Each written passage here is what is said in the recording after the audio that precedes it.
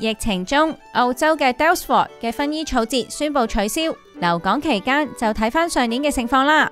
会场内除咗薰衣草田，仲有唱歌表演、市集、美食同购物，仲可以上一堂有关薰衣草精油嘅堂。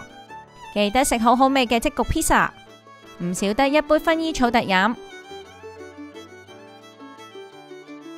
可以免费试食嘅农产品市集。大部分都系区内街坊自家制产品，最后当然要买埋薰衣草手信啦。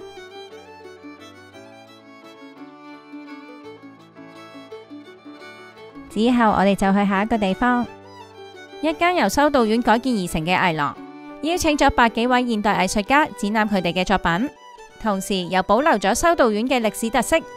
午餐就推介呢度嘅星级八道菜午餐，由 ella 监制嘅湖边餐厅。